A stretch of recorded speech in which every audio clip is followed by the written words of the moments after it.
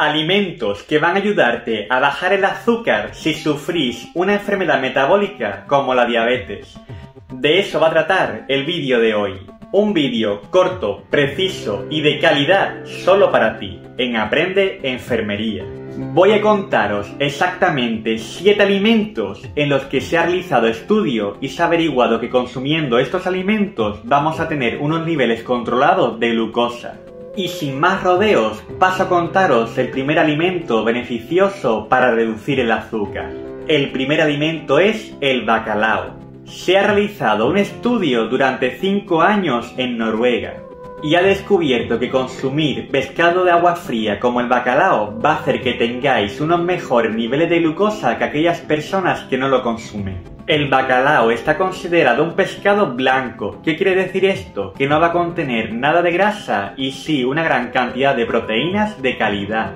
Además de esto, el bacalao contiene un índice glucémico de cero, esto quiere decir que no va a aumentar nada nuestros niveles de glucosa.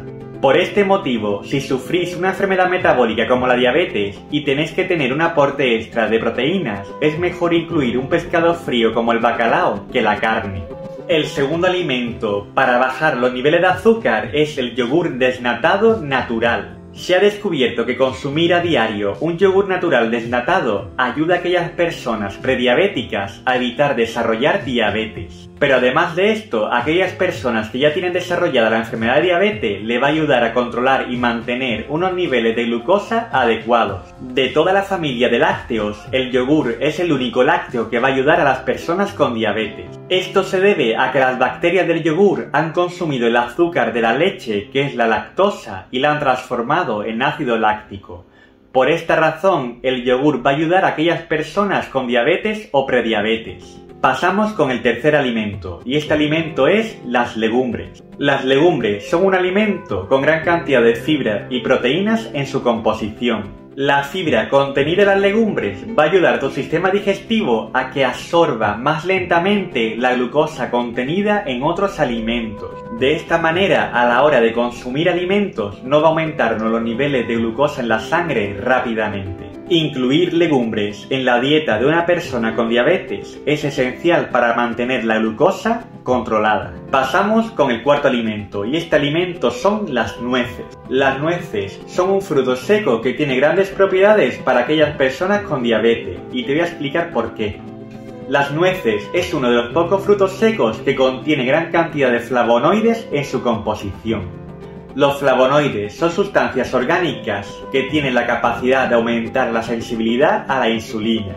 ¿En qué se reduce esto? Al aumentar la sensibilidad de la insulina en el organismo, las células van a ser capaces de absorber mejor la glucosa que tenemos en la sangre, manteniendo de esta manera unos niveles adecuados de glucosa. Pasamos con el quinto alimento, y el quinto alimento es la canela.